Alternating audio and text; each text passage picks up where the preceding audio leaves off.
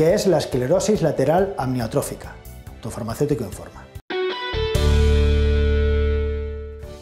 La esclerosis lateral amniotrófica, también conocida como ELA, es una enfermedad degenerativa y progresiva de las neuronas de nuestro cerebro y nuestra médula espinal que se encargan de transmitir las órdenes para el movimiento de nuestros músculos.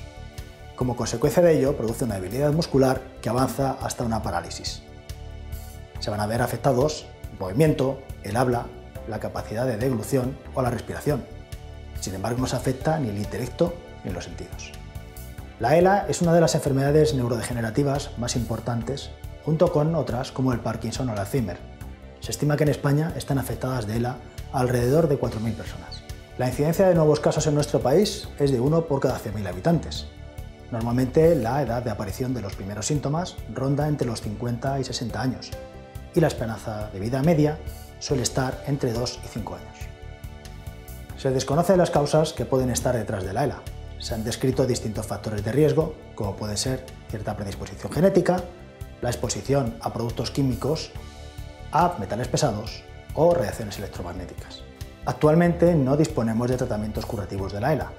Existen fármacos como el Riluzol que han demostrado prolongar algunos meses la vida de estos pacientes, pero no tienen efecto en la evolución de esta enfermedad. Para paliar los síntomas de esta enfermedad disponemos de algunos tratamientos, fundamentalmente aquellos destinados al tratamiento del estado de ánimo de estos pacientes.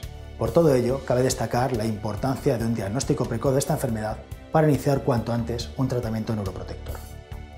El Consejo General de Farmacéuticos y la Fundación Luzón han firmado un convenio de colaboración para visibilizar y concienciar sobre la ELA. Y recuerda, consulta siempre con tu farmacéutico de confianza, él te informará sobre esta cuestión y cualquier otra duda que tengas. Recuerda, ante cualquier duda, acude a tu farmacia y consulta a tu farmacéutico.